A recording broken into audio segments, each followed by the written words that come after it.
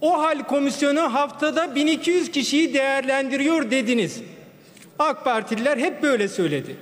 Ben bu konuyu yıllardır çok yakından takip eden bir, bir insanım.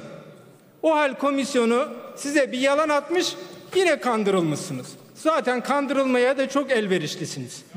60 haftadır cevaplar veriliyor o hal komisyonunda.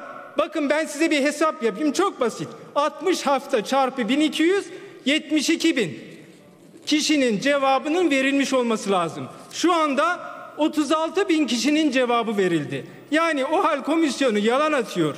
O hal komisyonu kurucusu Selahattin Menteş. Adını da vereyim işte. Şu anda kendisi Adalet Bakanı yardımcısıdır. Kendisiyle konuştum. Bana ne dedi biliyor musunuz? Çok skandal bir sözdür bu.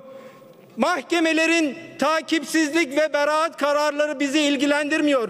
Onları biz takmıyoruz. Biz irtibat ve iltisaka bakıyoruz dedi. Nedir bu iltisak yahu?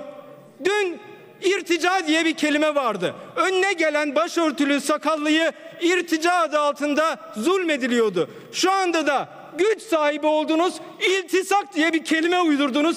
İşinize gelmeyeni hukuksuz bir şekilde zulmen mağdur ediyorsunuz. Başka hiçbir anlamı yoktur bunun.